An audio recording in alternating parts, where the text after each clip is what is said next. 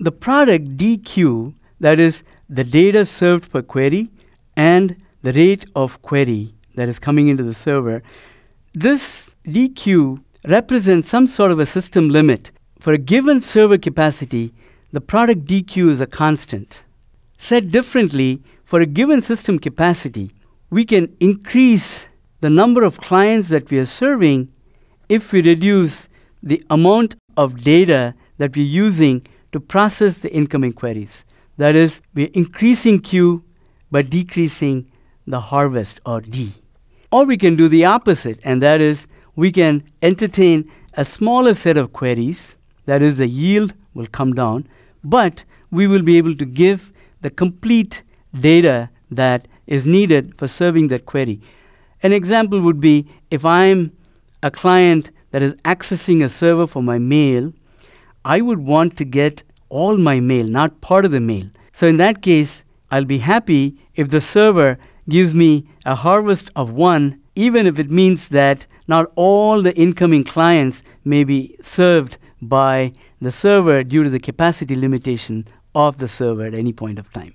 So, as a system administrator, we have some choices to play with. The important thing is that in giant scale services, the performance is limited by network and not by the I/O capacity. We can have as much I/O capacity as we want by having more hardware resources here. But what we are bound by is the network capacity. So if we increase the capacity of a server, we have a choice as a system administrator. We can either increase the harvest, keeping the yield the same, or we can increase the number of clients we are serving. That is, we can increase the yield, keeping D a constant. That's the knob that a system administrator can play with in terms of dealing with capacity increases at the server. Similarly, if I'm a system administrator and some nodes in the server fail, then again we have a choice of either decreasing the harvest or decreasing the yield in order to deal with the reduced DQ value. Of course, it all depends on how the server itself is architected, if the failures can be hidden through replication and so on. But the important message I want to convey to you is that this DQ represents a system constant so far as the server is concerned in terms of the capacity. Given a particular capacity of the server, DQ is fixed. So, as a system administrator, you have a choice of either sacrificing yield for harvest or harvest for yield cannot increase both the harvest and yield without increasing the server capacity.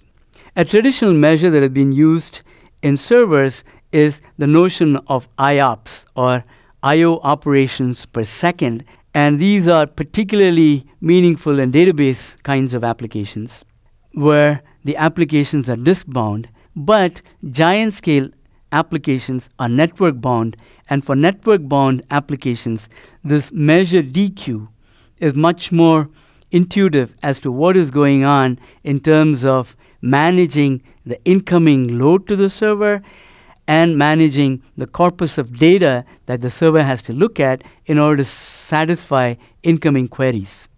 Another metric that system administrators have often used is what is called uptime. You may have heard of terminologies like mean time between failure and mean time to repair. Mean time between failure is what is the expected time between two successive failures inside a data center.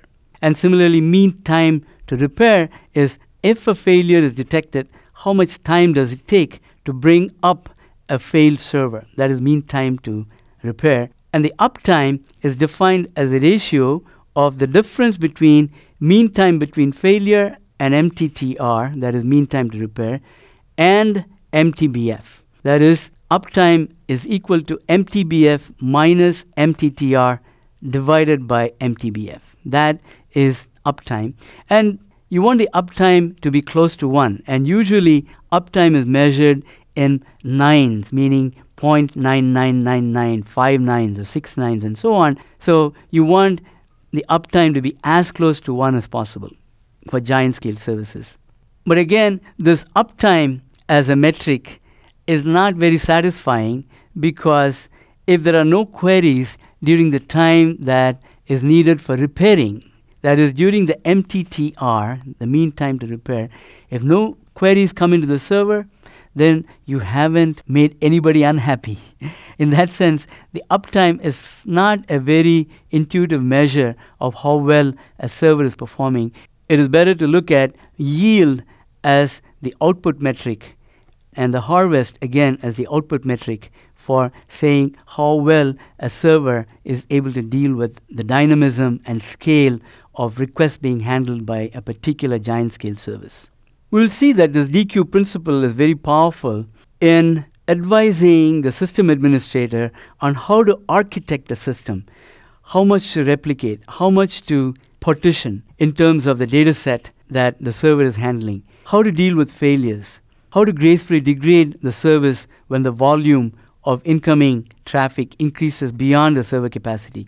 All of these are questions that can be handled very elegantly using this DQ principle. And the key underlying assumption in the DQ principle is that the giant scale services are network bound and not IO bound.